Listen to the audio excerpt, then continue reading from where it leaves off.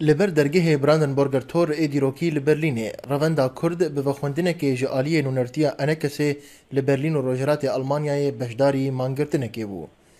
د مانګرتنې د سلوګان شرمزار کرنا ګرتنا اندام او سرکردین پارتیا کیتیا کورد سوریه وین انکسه جعالی اسایشن پیده و هاتن هلدان هەروها ئەنە کەسەیە بەلگەیەکدا بالیۆزخانەیە ئەمریکایە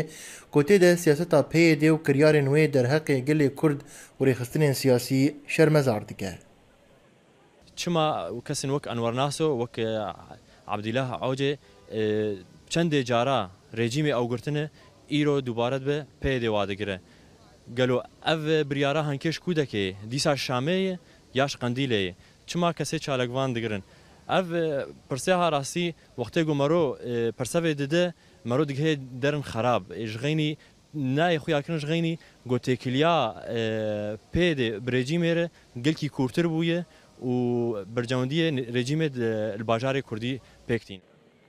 لگوری هن آلین سیاسی هگر پیده به وی سیاست بردوام به او شرکی نافخویی لروج آوای کردستان پیدا ببه نخاسم که پیشمرگی هن لباشور کردستان در باسی روج آوای وی ببن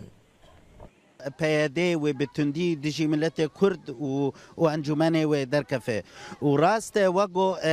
سروک ابراهیم برو گوت و پیاده چه قاسی آستانگی انجملت کرد چک و هف قاسی بک گو پشمرگه بقوت وبهيزن قوات داكفن كولان كردستان سوريا جبونا كردستان سوريا نجر جيمشي تاني آزاد بكن ويش بيديشي آزاد بكن لگوری چاودێر و مافناسان پارتیایەکیتیا کورد لە سووریە بووە ئەرمانجا ئەساییشێن پێیەدێ ji ber کۆپرانیا girtiye نوێ کەس نەچالاک بوون û gelek caran ji aliyê rejîma Esed ve hatine girtin.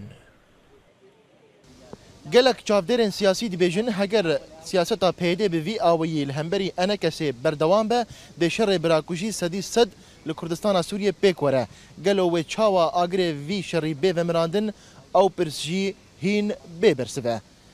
عيسى أورينت نيوز برلين